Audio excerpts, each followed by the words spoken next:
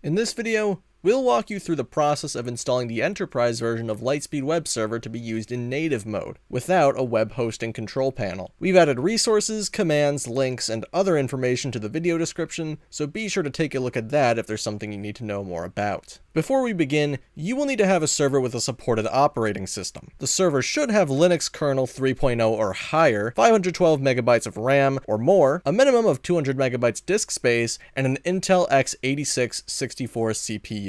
You will also need a fully qualified domain name pointing to the server. And lastly, you will need to open the following ports the server level firewall. 22 for SSH, 7080, 80, and 443 for TCP, and 443 for UDP. Once these prerequisites are dealt with, we can dive into the following topics. Obtaining a license, installing LiteSpeed Web Server, verifying LiteSpeed Web Server's running, accessing the web admin console, and updating LiteSpeed Web Server to the latest version. Obtaining a license. Obtaining a LiteSpeed license is optional. It is possible to complete all the steps in this video with a simple 15-day trial license. Just be aware that once the trial period is over, you will need to purchase a license if you want to continue to use LiteSpeed Web Server. If you'd like to use a trial license, you can skip ahead to the next section of the video. To purchase a LiteSpeed Web Server license, visit store.litespeedtech.com in your browser. Choose the license that you'd like to purchase and click Order Now.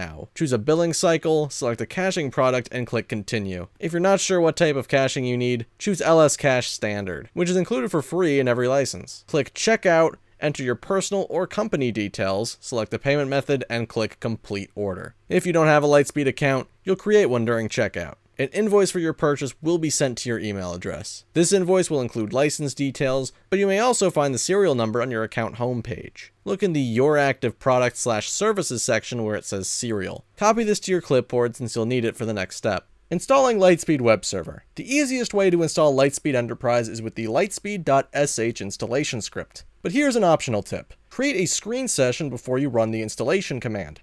This will ensure a successful installation even if you lose your SSH connection. Run the sudo apt install screen command. Then create a named session. Call it whatever you like, for example, my screen, using the command screen-s my screen. If you lose your SSH connection, reconnect to the screen session using the screen-r my screen command. To begin the installation, connect to your server via SSH as root and run the litespeed.sh installation command. The installation script will begin by prompting you to answer a few questions. First, read the license agreement and agree by typing yes with a capital Y. Specify the installation's destination directory. This should be a location where you have permission to create and manage files. If you don't have a preference, simply press enter to select the default location. Next, specify the administrator's username and password, as well as a valid email address for important server-related notifications. Since you're not using a hosting control panel, enter 0 to proceed. Next, for security reasons, choose a non-system user to run the web server. The user should not have a login shell or home directory.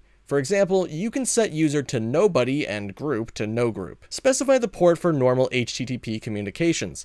The standard HTTP port is 80, but if you have another web server running on that port, you'll need to specify a different port number or stop the other server before installing LiteSpeed. Next, specify the HTTP port for the web admin console. The default port is 7080, but you can specify a custom 4-digit port number if you'd prefer. Be sure to whitelist your web admin console port in your server's firewall. The next three questions are for optional configurations, PHP, chroot, and AWStats. Enter N to these prompts for now. You can always rerun the installation script to configure these options at a later time. When the installation completes, you will see a success message informing you that the setup has been completed successfully. Finally, you are asked if you would like LiteSpeed Web Server to start automatically when the server restarts. The default option is Y. Confirm and the startup script will be successfully installed. You may then start LiteSpeed Web Server right away. You've successfully installed the enterprise version of LiteSpeed Web Server. You can verify from the command line that LiteSpeed is listening on HTTP port 80 and or HTTPS port 443 using the lsof command. You can use the web admin console to configure LiteSpeed Web Server to your specifications. To access web admin, open a new browser window and enter your domain or IP address followed by a colon and the port number 7080. If you choose a different web admin port number, enter that instead of 7080. Enter the username and password that you configured during installation and click the Login button. Updating LiteSpeed Web Server. LiteSpeed Web Server ships with the lsup.sh script that simplifies updating the web server to a newer version. You can run the command from your server CLI or create a cron job to schedule a daily update on off-peak hours. Congratulations, you are ready to use LiteSpeed Enterprise Web Server. Be sure to check the links in the description for more information about everything we've demonstrated along with documentation for setting up PHP and further configuration options for LiteSpeed Web Server. If you face any issues with your native mode setup,